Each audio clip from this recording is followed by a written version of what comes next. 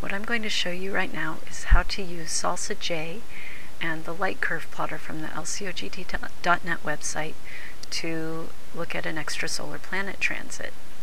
What we've got is um, you will have downloaded one of the sample data sets. What I'm going to show you right now is the WASP-2 sample data set and um, I'm just going to take you through the steps that you need to be able to see a light curve from um, that star as a planet goes in front of the star and um, blocks some of the light.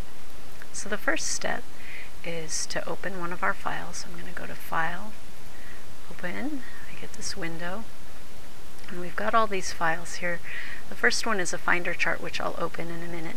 And as you can see, all of these files have very long numbery names, um, but each one has some kind of unique number in it. So what I'm going to do, you can do this however you want, but I'm going to take the unique numbers from each of these and use that in my spreadsheet to identify which image I'm looking at. So I've got image identifier here, and this first image, I'm going to open up and resize you won't have to do this. Okay, so before I start, I'm just going to put in, I'm working with image 101 here. Okay, then I'm going to go back to SalsaJ, and this is image 101. And first, I need to change the brightness so that we can see it. There we go. Now before we can start, we don't know which star in the frame is the one with the planet, so we need to go back over to, I'm looking in my file browser here, to that folder that the WASP2 data was in, and here's the Finder chart. So let me open that up. We can have a look at it here beside the image we're using, and you can kind of see there's a pattern, bright star, bright star, bright star, bright star. There's the same pattern here with kind of the same angles, and that's pretty much what you're going to have to use to figure out which star it is. And this says transit target here. So this is the star that has the planet going around it that we're going to be looking at. Okay, so I'm going to go ahead and close this, and now we can get started on our photometry. Um, as you'll have seen in some of the beginning photometry screencasts, I need to go up here to photometry settings. Let's see if I can find that again. Analyze photometry settings. Here it is. Okay, now for this, I'm going to use a radius of 7 for the star and 15 for the sky.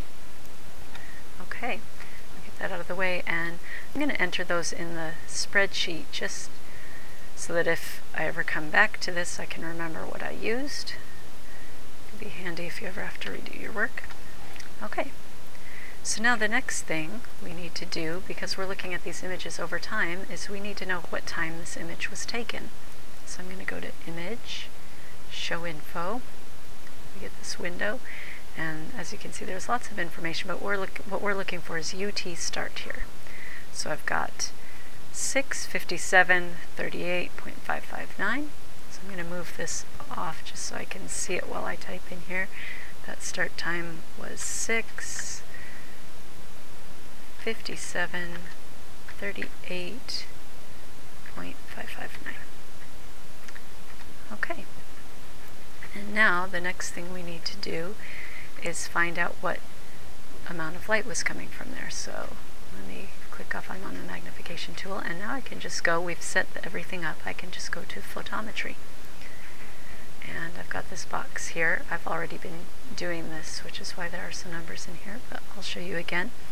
So I'll click on here on the star, and as you can see an entry pops up for what I just clicked. And the intensity is 875,073.75. So I have to move this out of the way so I can see to type. But I'll just type that in here, 875,073.75. Okay, I've got that. And now I need to go back and look at this and I'm going to choose a comparison star. I'm going to use this one.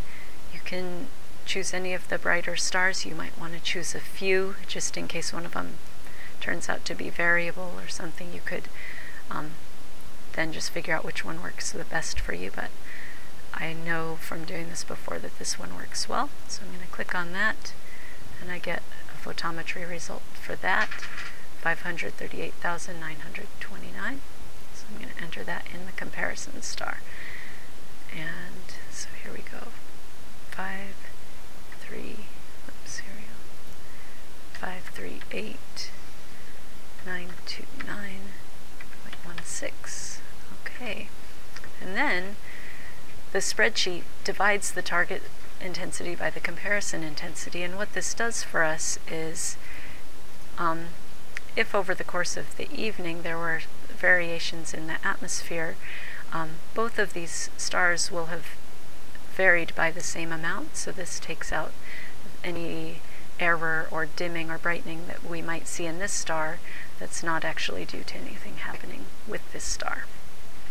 Okay, so we've got those values in and we can see a value popping up on our graph here. So what we can do is just go ahead and um, what you would do is go to File, Open, and open up your next image.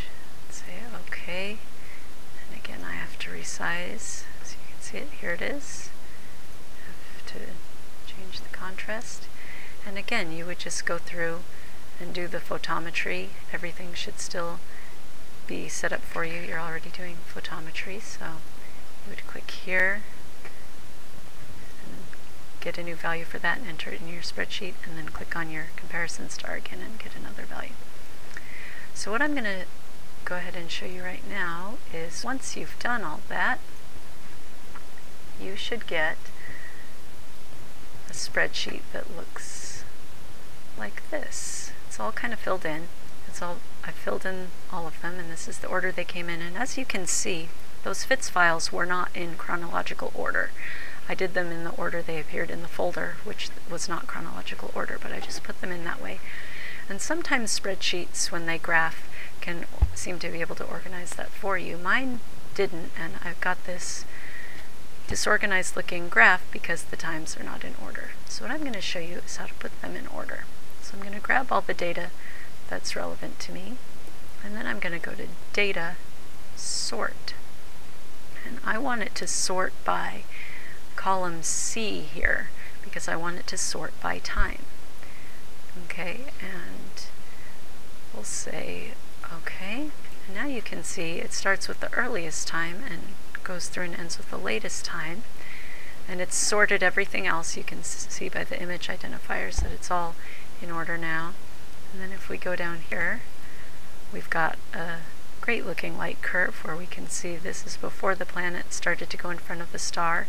And then here it goes in front of the star, blocking some of the light, and then it's moving out of the way, and the star brightens again. So what I've shown you how to do is to use SalsaJ and a spreadsheet to look at the changes in light from a star as a planet passes in front of it.